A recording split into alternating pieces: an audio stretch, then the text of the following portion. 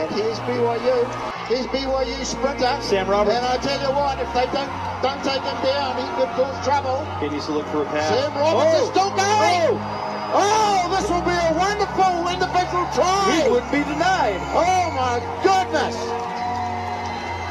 That's what you want to see in a winger, speed and staying on his feet. Yeah, I, I frankly can't believe that he broke those tackles. Oh, uh, he's, he's, not a big, strong guy. He's a really fast guy. But he didn't.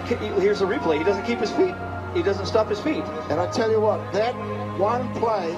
And the balance too. Look, and he cuts back in, breaks a couple of tackles. Look there. at that. Yeah, B. Duffy, the captain. That's Good interesting. Balance.